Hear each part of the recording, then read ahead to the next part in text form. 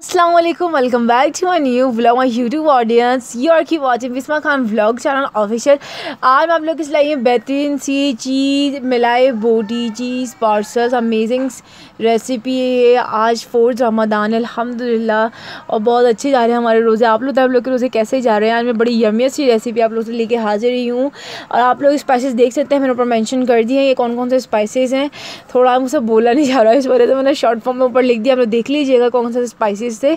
Then मैं यहाँ पर यूज़ कर रही हूँ बॉललेस चिकन बिल्कुल बॉललेस को मैंने छोटे छोटे से क्यूब्स में कट कर लिया है। देन मैंने इसमें डाला है हरी मिर्चें और मैंने इसमें डाला मलाई भूजी मसाला चाइनीज़ सॉल्ट और एक गैनो से मैंने पूछ की है।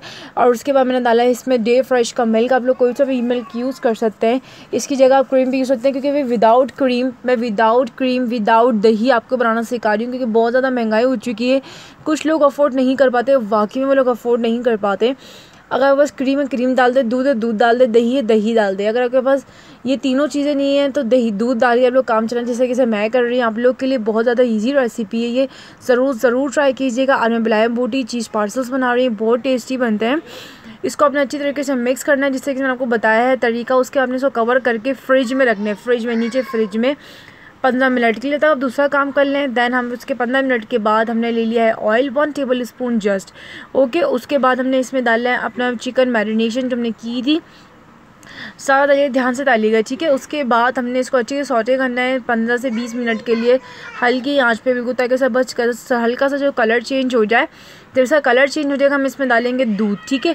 मैं आप लोग को विदाउट क्रीम और विदाउट दही बनाना सिखा रही हूँ। Friendly budget recipe Ramadan special recipe बहुत ज़्यादा टेस्टी, बहुत ज़्यादा मज़ेदार और अच्छी रेसिपी बनती है, ज़रूर ट्राई कीजिएगा आप लोग।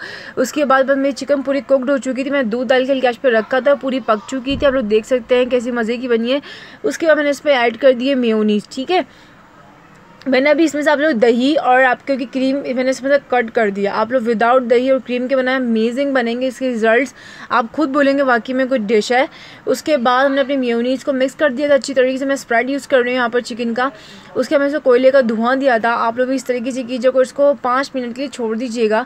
देन मैंने यहाँ पर ली है समोसा पट्टी। आप लोग भी समोसा पट्टी यूज़ कीजिएगा। देन मैंने यहाँ पर बस हल्का सा मैदे की स्लरी सी बनाई थी और मैं उसको ब्रश से हल्की से लगा रही हूँ अपनी पट्टियों पर।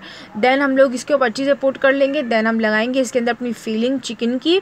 और यहाँ पर मैं यूज़ कर रही हूँ मोजेला चीज़ मोजेला चीज़ आप लोग पिज़्ज़ा चीज़ भी यूज़ कर सकते हैं। ये इस चीज़ की जान है। चीज़ जो है ना, वो जान डाल देती है हमारी पार्सल्स के अंदर। उसके बाद इसको कवर कर देंगे साइडों से अच्छे तरीके से। ये इतनी ज़्यादा अच्छी बनती है, इसमें बबल्स भी नहीं होते। बहुत ज़्यादा क्रिस्पी बनेंगे और अच्छे और मज़ेदार बनेंगे, आप देखिएगा। बस हमारा अच्छा सा पार्सल बॉक्स पे चीज़ तैयार है। आप लोग देख सकते हैं। डिलीशियस टेस्टी मतलब विदाउट एनी थिंग हम लोग कोई ब्रांड स्पाइसेस घर में मसाला बना डालें जीरा डाल लें धनिया डाल लें पुदीना डाल लें उसको मैरिनेट करके रखें मज़ेदार बनते हैं ये। इतने ज़्यादा क्रिस्पी और क्रंची बनते हैं कि जिसकी कोई हद नहीं। बहुत ही ज़्यादा मज़े के तरीके से दही अंदर से। आप लोग खुद देखिएगा इतनी ज़्यादा चीज़ी खतरनाक बहुत ताला बनते बहुत मज़े के। इतने मज़े के मलाई भरी चीज़ पार्सल्स बने थे जिसकी कोई हद नहीं। और बहुत मज़ा आया फोर रमदान था हमारा और मैंने ये अपनी आज बहुत ज़्यादा खुशी में बनाए हैं। ये रेसिपी मैं आपके साथ शेयर कर रही हूँ, क्योंकि आई एम सो हैप्पी और आप लोगों ने मुझे ये खुशी दी है। Thank you so much my YouTube audience I really love you thank you thank you so much for supporting me और ये हमारा दस्तखान है फोर रमदान का। लबा सबके घरों में भी खुशियाँ, रहमतें, बरकतें नाजिल अता करें। प्लीज़ प्लीज़ मुझे ऐसी सपोर्ट करें। आज मेरे हंड्रेड सब्सक्राइबर्स कंप्लीट हो चुके हैं। तो मैंने सोचा फोर रमदान में अपने साथ शेयर करूँ कि मेरे सौ सब्सक्राइबर्स पूरे हो गए। सो मतलब इतने नहीं, लेकिन ये मेरे लिए बहुत बड़ी खुशी कि आप लोगों ने मुझे यहाँ तक पहुँचाया। Thank you so much I love you all अल्लाह हाफिज़.